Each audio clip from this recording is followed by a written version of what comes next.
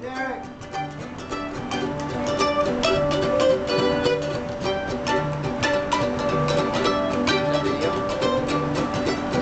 Yep. Good for all of us.